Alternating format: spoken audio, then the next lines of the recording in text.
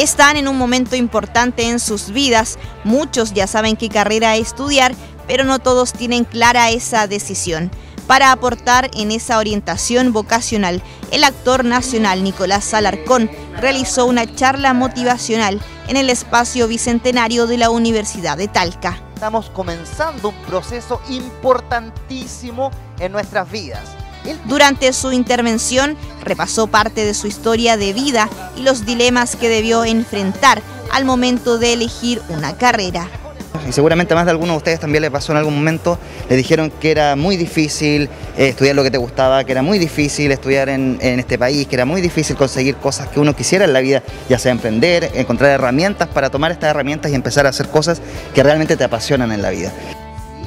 Pese a las opiniones que recibió, Nicolás decidió ser actor y así transformó su experiencia personal en un potente discurso para incentivar a los estudiantes a perseguir sus sueños y a creer en sí mismos. Debo destacar que la Universidad de Talca hace esta instancia, la cual encuentro muy interesante, porque un problema importante de los jóvenes de enseñanza media es que hay una poca exploración vocacional.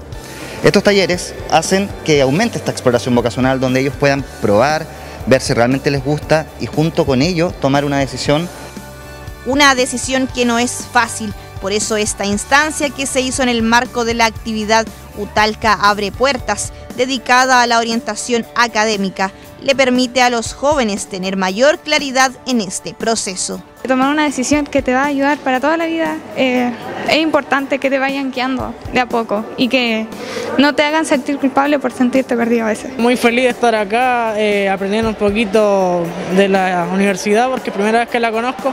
Estoy muy interesado en ingresar a estudiar acá y muy buena la charla motivacional de Nicolás Alarcón. Me motivó venir por, lo que quiero estudiar y más la, la medicina. Durante la jornada, además, los jóvenes participan de talleres y charlas informativas sobre las diversas carreras que tiene la Casa de Estudios Maulina.